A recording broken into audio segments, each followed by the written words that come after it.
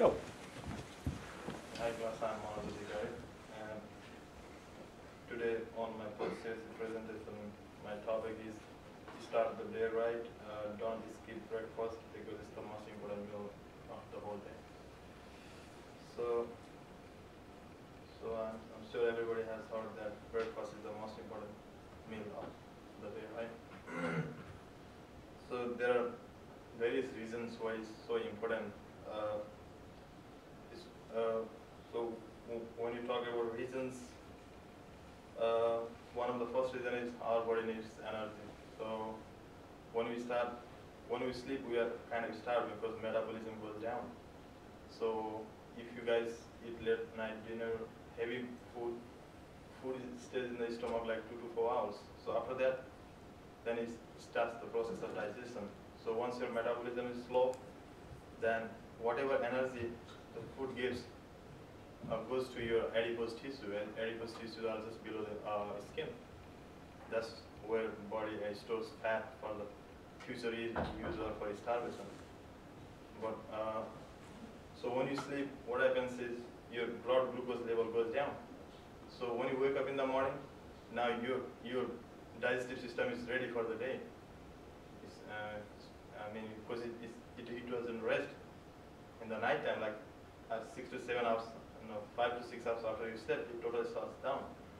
So, so once you eat heavy, heavy breakfast, balanced breakfast, what happens is your body start to digest it then and there.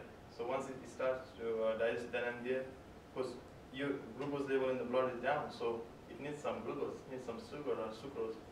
So then, once the energy is uh, liberated, then we get we get chance to use that right away.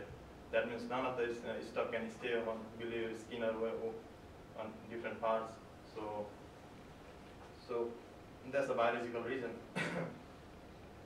and uh, why we should eat uh, regular breakfast is one is energy level, uh, next is concentration, and the next is mood. Even uh, so, when you don't eat breakfast, what happens is uh, you end up eating more uh, snacks uh, in between your lunch and breakfast time because your body needs energy in order to compensate that need.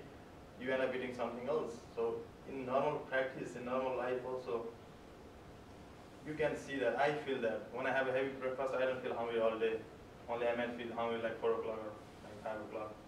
So, but if I, the day I skip my breakfast, I like to eat food.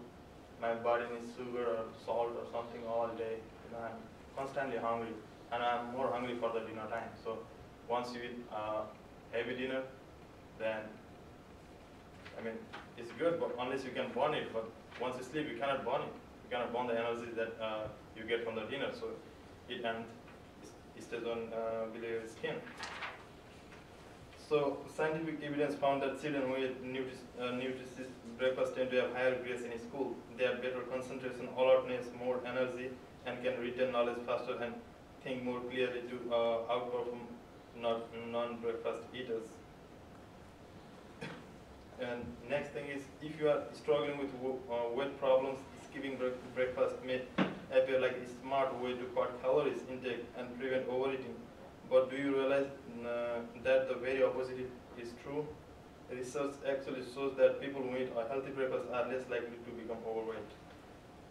So the ideal breakfast should be exceptional, exceptional in quality with all nutrients that the body needs for the uh, day, including vitamins, minerals, trace minerals, essential fats, enzymes, antioxidants, essential amino acid, uh, probiotics, brain food, fiber, cardio, cardiovascular protector, immune boosters, and bone builders. so, and w- one of the things that we should remember is caffeine from coffee can max our hunger. So once you drink a lot of coffee, you might not feel hungry for a long time. Uh, so again, uh, if you don't feel hungry, that means that uh, your digestive system is still working, but your enzymes are not working because uh, hunger is uh, stimulated by brain. So, I mean, it doesn't mean that your body is not starving. Of course it is. Only just you are not feeling hungry. And that's the unhealthy lifestyle anyway. So, let, let me tell you uh, some work-related uh, effects of not eating a healthy breakfast. their tiredness or li- uh, likelihood of experiencing fatigue uh, early in the day, inability to focus on tasks, decreased alertness throughout the day, less memory capacity, higher chance of irritability and restlessness. And some health-related effects of not eating uh, a healthy breakfast are greater chance of weight gain due to unhealthy snacking, higher risk of uh, developing diabetes, increased possibility of high cholesterol, higher potential um, for high blood pressure. And all of these health uh, issues, they're all related. Diabetes, cholesterol, and blood pressure, and obesity, all of them are totally uh, related with one another and solved. Not only because of not eating breakfast, but having one unhealthy lifestyle. And the way we can have a healthy lifestyle is don't skip the breakfast if you can.